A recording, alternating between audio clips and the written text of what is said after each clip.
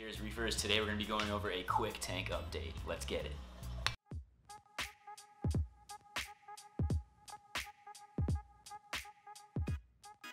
Awesome Reefers, thanks for tuning in today.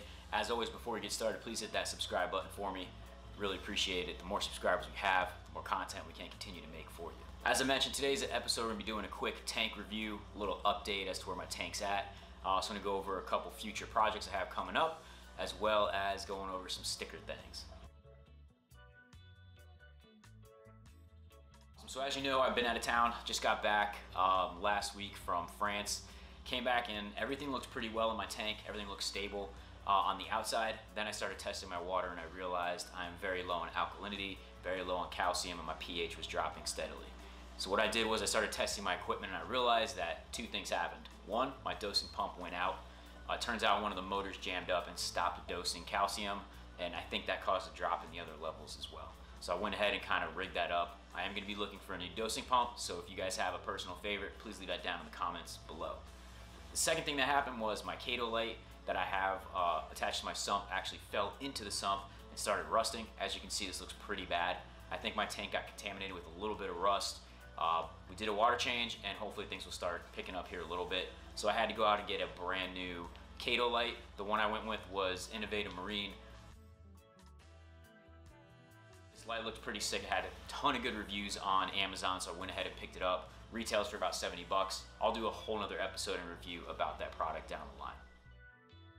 So now that we got all the negative stuff out of the way, let's talk about some uh, cool projects we have coming up. Couple things I got, I got going on right now. One of them is I need to do a custom build for my quarantine tank. What I plan on doing is stuffing my Apex uh, in there and using it as like a controller housing um, underneath the quarantine.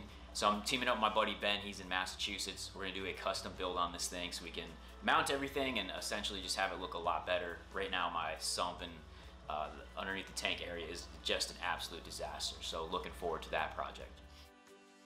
The other project I have going on, which is pretty cool, more of a long-term project, is I'm trying to catalog my entire tank and all the coral and uh, livestock that I have. So my plan is I'm gonna take pictures of everything I do have, hopefully some high quality pictures, and publish it into a book that I can keep on my coffee table.